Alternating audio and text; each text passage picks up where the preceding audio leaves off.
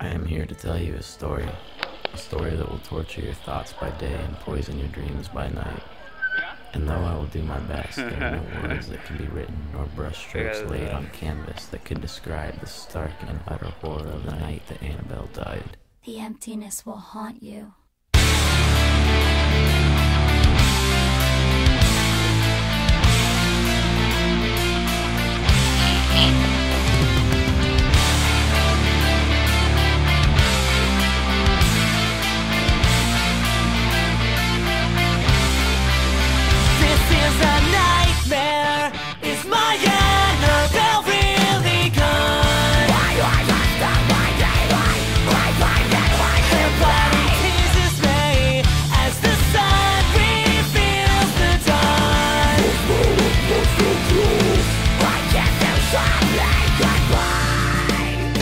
baby.